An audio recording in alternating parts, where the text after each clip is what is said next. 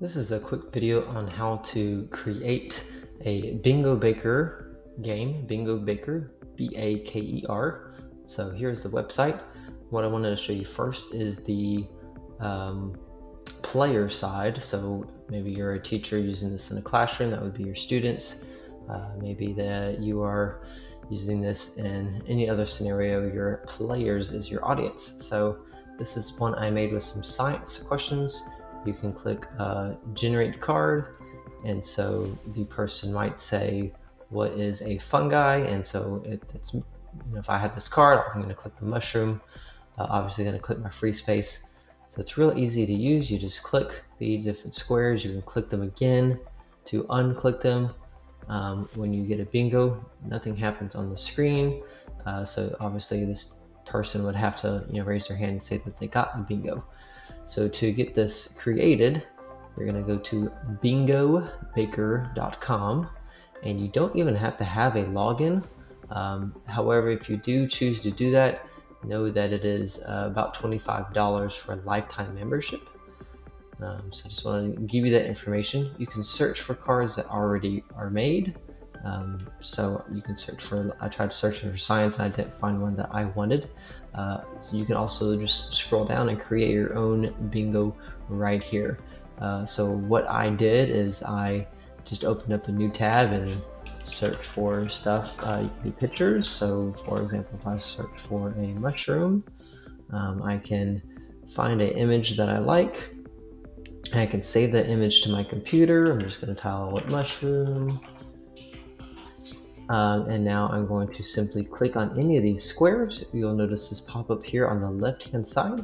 I'm going to click on add or remove image and I'll be able to upload that mushroom just by double clicking and it appears there on my screen. And you saw how that looked on the uh, player side. They're pretty decent sized pictures. Um, notice that if there is text on them, the text might be a little too small for them to read. Um, so hopefully that works for you. Um, if you want to just do text, you can just type anything that you want to. There's some different formatting options over here. You can kind of explore that as you go. Um, you can also change your size. So if you want a really small uh, bingo board, you can do a three by three, five by five is the default. You can even go up to seven by seven. Um, also, what I encourage people to do is after you fill this whole board up, to add more um, vocabulary, words or pictures or whatever down here, because then that will, when they generate their own card, it'll make it more random. So every time uh, your players access the link, it'll generate them a card that has random choices from this board up here and any extra words that you had or images that you had down here.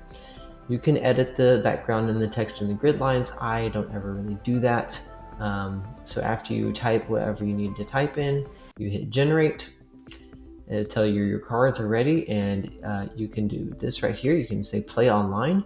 You can just copy this URL by clicking on this little icon right here that copies it and then you can paste that wherever you want to. So uh, the purpose of my card was for educators so they could put that in their um, LMS uh, like Google Classroom or uh, Canvas or um, Microsoft Teams or anything like that, you can put that link in there for your students to play.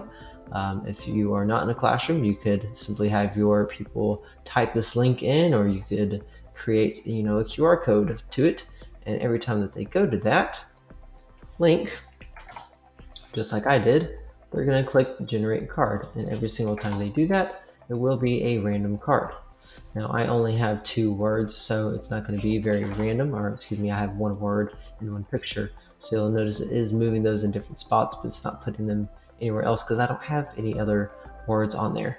Um, that is a pretty quick video on how you can use Bingo Baker and create your cards for people to play online. Thanks for watching.